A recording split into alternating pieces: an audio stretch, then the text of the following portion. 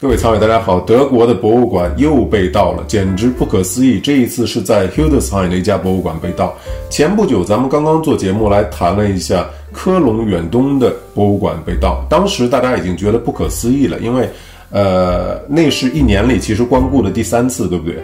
呃，可见那些盗匪已经是对他非常熟悉、非常了解了啊。那么第三次的时候带走了九件啊，九件瓷器，宫廷瓷器。我们当时一起做节目来看了是哪九件瓷器，也包括市场价格是多少钱哈。呃，但是当时啊，呃是有保安的，而且保安还看到了这个盗匪，保安能描述出这个盗匪的年龄、发型、背着包、戴着帽子啊，都能描述出来。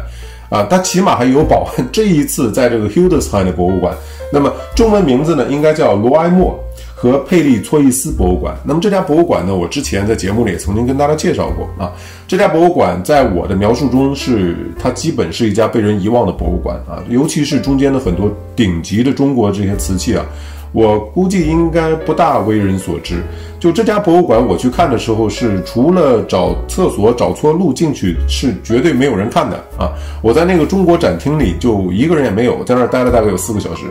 那么，呃，但是盗匪并不是这样，盗匪好像还挺专业的啊。他盯上了这家博物馆，那么知道这家博物馆可能在安保方面有各种问题，那么中间拿走了三件物品。大家可以看到，德国的媒体也第一时间报道了。但是德国媒体报道呢，我感觉好像更多的像是征求这个社会的帮助啊，大家能够提供更多的线索啊。那么，呃，他的报道是这样的，也就是警方呢知道 Hildesheim 这家博物馆被盗，那么中间呢一对烛台，一对烛台和一个嘉靖的青花罐子呢被偷了啊。这个小偷呢应该是从这个一楼，一楼在博物馆背面的窗户啊进入了这个博物馆。那么，呃，发生的时间呢是十月二十九号。到十月三十号，十月二十九号呢晚上八点钟以后，到十月三十号早上七点钟，这么长的时间里面，啊，出现的这种盗窃的这个事件，也就是说，他们好像根本没有办法具体的确定是在哪个时间段，啊，具体是什么时候，呃，盗匪进来，偷盗了多少时间，呃，等等一一切信息他们都不知道啊。那么，呃，搞笑的是在星期一的时候。呃，那么因为警方知道这博物馆被盗嘛，但是呢，这博物馆方面居然说是看起来好像没有东西被丢嘛，对吧？啊，所以这个警方就定义为这可能是一次失败的入室盗窃案啊，就是没有成功未遂的盗窃案。但是到了星期四的时候，哎，这博物馆发现不对，哈，这个警方得到了这个消息，丢东西了，好，大事不好，丢什么？丢一对唐英的乾隆时期的这个烛台啊。还有呢，一个嘉靖的这个青花的罐子丢了啊。那么，呃，所以大家觉得能想象吗？呃，居然是这个博物馆的这个反应之迟钝呢，也包括嗯，警方对这个事情的这个重视程度啊，我我我觉得都让大家很错愕啊。这种事情照理应该一个博物馆是去偷它，应该是难度是最高的，因为大家都知道里面放的是那些最宝贵的东西，对不对？怎么会是处于一种这样，好像随意进出的这么一个状态啊？这其实也是反映出德国博物馆的这个整个，呃，管理系统的问题，不是说局限于一家博物馆，而是德国的整体的博物馆。所以呢，今天呢，我也有这种感觉哈，就是下一家博物馆到底是哪家？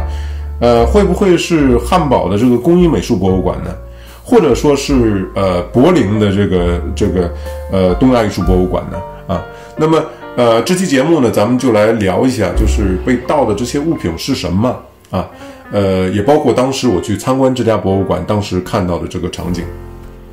那么这家博物馆呢，其实我一开始我也不知道啊，我是在很多年以前去一个跳蚤市场，也没有什么可买的，就转一转嘛，周末。然后呢，呃，没有可买的，咱们就翻翻旧书吧。然后就翻到这样一本图录。那么这本图录呢，印制于一九八一年，所以这本图录也已经很老了，对不对？呃，当时也想，博物馆可能未必会消失，对不对？所以咱们就哎去看一看，因为中间毕竟当时那图录都是黑白照片啊，咱们也看不清楚什么。那么呢，咱们就去了。去了之后呢，看到这么一家博物馆在里面，确实有这么多的宫廷的，呃，中国的瓷器在里面啊，路分还相当不错啊。我觉得，呃，我觉得对于如果住得近的这个藏友的话，不妨去看一看啊。那么，呃，中间有很多的青花，也有很多单色釉，也有很多的这个呃各种类型的这个宫廷的瓷器啊，包括雍正粉彩啊，包括郎窑红啊等等啊都有。那么，呃，而且啊，没什么人，这家博物馆几乎没人，就是您去，您会感觉您是 VIP 的客人，不是人家帮您清场了，您就在那儿一个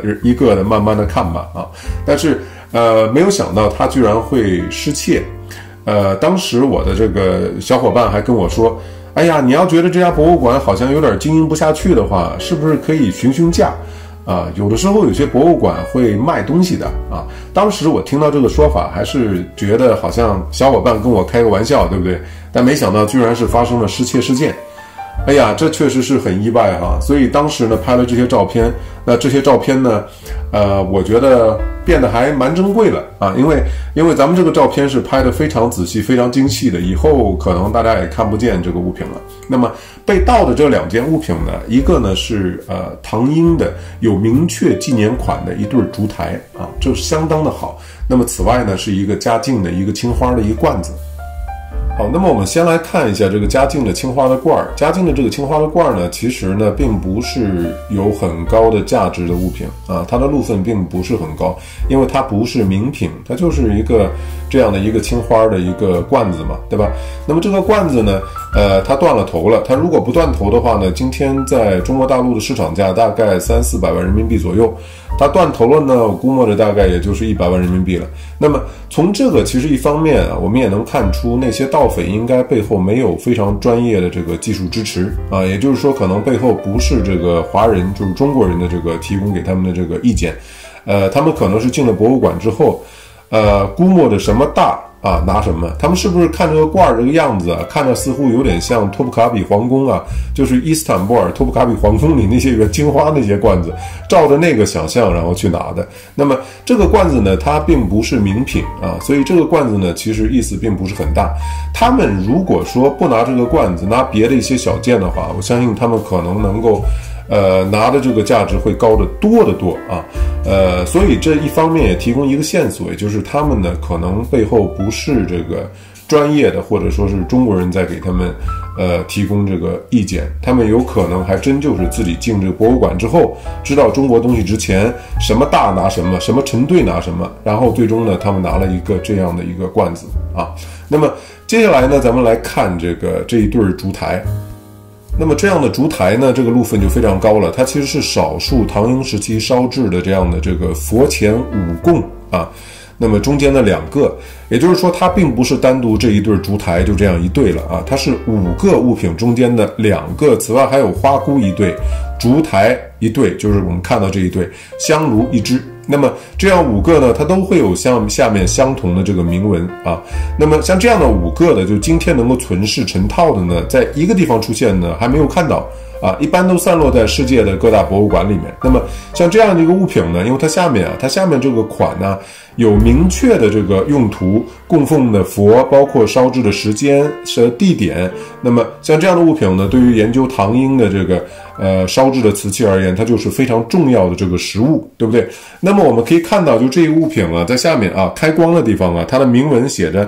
养心殿总监造亲命都理江西陶正监管江南怀素海三官经。积济江西九江湖口大沽堂等关税科，内务府庆丰司员外郎总佐领加五级，沈阳唐英进至五贡全分处县，东直门外坝，北长店村二道街东口，观音大士殿前永远供奉，大清乾隆五年十月朔日。那么像这样的这个呃烛台呢，它其实，呃，我们还看到，比如说在英国维多利亚的博物馆呢，或者在上海博物馆呢，或者在之前的这个苏富比啊拍卖啊中间也出现过这样。那么它呢这个风格呢差差不多，但是呢所供奉的佛烧照的年代呢可能会稍有不同。比如说香港苏富比一九八九年曾经三百三十万港币其实卖掉过一只。啊，这样的一个物品，那么它下面呢写的呢是，呃，一样也是沈阳唐英进制，然后呢是地藏王菩萨殿前永远供奉啊。我们看到上海博物馆呢也有，呃这样的这个物品，那么它写的呢是，呃天仙圣母殿前永远供奉啊。那么，呃大清乾隆五年十月朔日啊。那么也就是说，像这样的物品啊。呃，他有具体的这个目的啊，他知道这个东西呢是为什么烧造，然后呢会放在什么样的这个地方。那么这样的物品啊，其实今天散布在世界各地的博物馆里，如果大家看见的话，还是可以把它们给认出来，就是啊，原来这几个应该是一套啊这个情况。那么像这样的这物品呢，大概嗯可以拍卖多少钱呢？其实这个价格呢还确实是很贵的。我们可以在这里看到。二零一五年的苏富比啊，香港的苏富比，那曾经看到有这样的这一对儿这样的烛台，但是呢，这一对烛台呢，呃，当时的估价是八百到一千两百万港币，但是应该说这一对烛台呢，应该是没有没有成交啊，当时。那么此外呢，我们也可以看到，就是在这里二零零七年的香港啊，四月八号，那么这一场拍卖呢，中间的第五百零八号啊，最终落锤价呢是呃。呃，一千一百五十二万港币。那么这个呢是呃一个花菇，那么它上面也有明确的这个铭文啊，呃描述了它的用途。那么苏富比卖的这只花菇呢，呃后来出现在了北京矿石啊，北京矿石的拍卖呢，最终成交价格是四千三百七十万人民币。在这里呢，我们看到这样一对儿，这样一对儿呢，它应该说是应该说品相是有问题的啊，呃，但是呢，能够有这样的这个东西啊，就是成对儿出现呢，确实也很了不起。我觉得，呃，当年能够去征集到、能够收到这样的物品啊，非常的不容易。呃，这样的物品呢，我们当时去啊看见了，也拍了照片啊，没有想到这个照片啊。呃，这样高清的照片，可能是在市面上相当长的一段时间里，可能是，呃，大家最后能够看到的这个照片了啊。那么像这样的物品呢，当时是这样一个保存的状态。那么其实当时和它一起展出的其他的物品呢，其实也有很多啊。那么呃，并不是说是它就是全场最贵的啊，并不是这种情况。那么呃，这里呢，我可以给大家展示一下，就是呃，其他的一些物品。啊，其实这个价值啊，这个路分啊，也非常非常的这个高啊。我觉得这个博物馆啊，应该要尽量的保护好这些物品啊。他们，我发现他们自己恐怕也不太清楚，就是，呃，哪些物品呢是高路分，哪些物品低路分，甚至于说东西被偷了之后，还要很多天才反应过来自己到底少了什么啊。那这个确实是有点，呃，有点超出我们的想象了。那么它这个博物馆里其他的一些物品呢，其实路分也非常高啊。呃，这个盗匪呢可能嗯不了解啊。那他也许也看到了其他的一些比较大的一些物品，比如说我们这里看到的一些青花的抱月瓶啊，也非常好，釉里红啊。呃，也包括像这样的这个，应该是乾隆时期的这样的青花花卉纹的双龙尊呐等等。呃，那么其实呢，这中间最贵的啊，我们看到，比如说这里啊，这里有几个这个高足碗啊，那么这高足碗中间有一只，就是大家看到这一只明宣德御制青花永平安宋高足碗，那么这种高足碗它能卖多少钱呢？那么这个高足碗呢，大家可以看到啊，五千五百万啊，这个价格。那么呃，也就是说，像这样的这个这个物品啊。呃，它其实的路分非常高，它不是说以它的这个尺寸啊来界定啊，呃，而是以它这个物品的这个路分。那么，呃，我并不是说在这里这个指导呃所谓的这个盗匪，就是告诉他们什么东西贵应该拿什么，而是说这个博物馆啊。你们应该要知道这些东西，哪些东西路分是高，哪些路分东西是低，呃，你们要对他们有相应的这个重视程度啊，也不是说这个东西说便宜的，好像小偷就可以偷我，并不是这个意思，而是他们要知道这个中国管理的这些东西的这个价值是非常非常高的啊，呃，他们应该稍微。呃，重视一些啊，不能说这个博物馆被盗了之后，要翻到第二天早上有人来上班才发现，好像这博物馆有人入侵了啊。博物馆一家又一家这样的被盗，呃，被盗完了之后，他们这个反应啊，这个科隆的这个博物馆之前曾经被盗过，然后拿木板啊，直接就把这个当时啊盗匪进来的这个入口啊，就